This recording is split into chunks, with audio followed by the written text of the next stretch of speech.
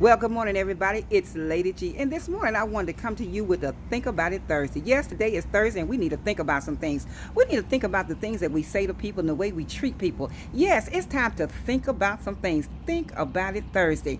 I am thinking about how yesterday I was on a lunch break and I was going through a parking lot. And as I was going through a parking lot, there was another vehicle, and this lady was driving, barreling very, very fast. And she almost T boned me. I'm not one to lay on my horn, y'all, but I had to give it a little toot to get her attention. Honey, when I got her attention, she gave me the most royal cussing out that she can ever think of.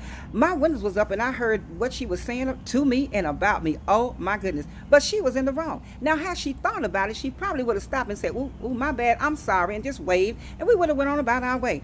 Honey, I was in the, in my own car fearing for my life. I looked to make sure my windows was up and my doors was locked, and they were, thank the Lord. But I didn't know. She may have been coming from her own fire, or she may have been on her way to another fire. You never know where pace, what a state of mind a person is in. So it behooves us to think before we react. Think before you hit send on that email. Think before you respond to that Facebook post think before you just cut somebody out of your life. Yes, this is Think About It Thursday. We want to think about some things. Think about how, what you can do in your life to make somebody else's life better. Because you know what? It ain't always just about you. It should be about somebody else, right?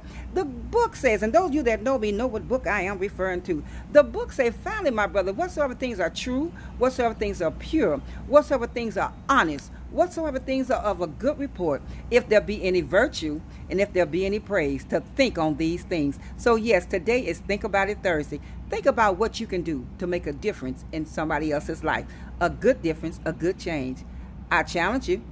Think about it. This is Lady G, y'all, and I'll talk to y'all later. Think about it.